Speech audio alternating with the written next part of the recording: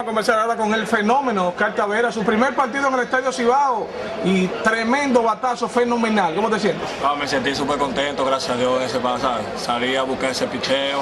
Sabes, más que este equipo de la estrella me tira mucho adentro y salía eso. Nada, y le da gracias a Dios todo y seguir metiendo manos, trabajar fuerte cada día más. Primer partido aquí en Santiago suspendido por las lluvias, hoy se logró jugar, o sea, ¿qué, qué, qué pensaban ustedes sobre eso? No, sabes, el equipo estaba, estaba bien enfocado, lo vi, el equipo estaba, estaba bien tranquilo, sabes.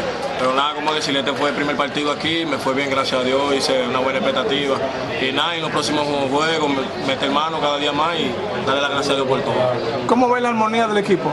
la armonía está buena, la armonía está buena, sabes, el equipo está, está haciendo buen trabajo, sabes, en el terreno y también lo que en el bateo, tú sabes, nada como decirle, seguir así, gracias a Polonia, pues trabajo cada día con Polonia, lo que en el bateo y me ha ayudado mucho y lo respeto mucho y le doy muchas gracias por todo. ¿Qué pesa sobre tus hombros, la, sobre tus hombros la etiqueta que eres un pelotero que no debe fallar, que no puede fallar, que se espera mucho de él?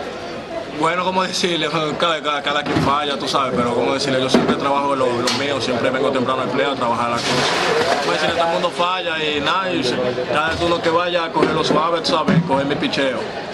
¿Cómo ves la liga, los demás peloteros nobles que al igual que tú están agotando su primer año y que han comenzado muy bien? Eh, ejemplo de los jugadores de los gigantes, eh, algunos jugadores de las estrellas, eh, para no mencionar sus nombres, que ya están haciendo la competencia a ti para el jugador de novato del año, que eres de los de, de Claro, de como, primer año. como estaba diciendo, ¿sabes? He jugado con un par de muchachos, un par de compañeros míos allá en doble A, ¿sabes? Ellos son buenos peloteros también.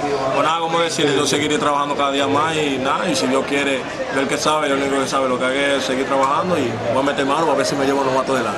¿Qué piensas de Marcelo Zuna, de Junior Lake, de Jonathan Galvez? ¿Qué piensas sobre esos jugadores? ¿sabes? Son, son buenos peloteros, bueno, ¿sabes?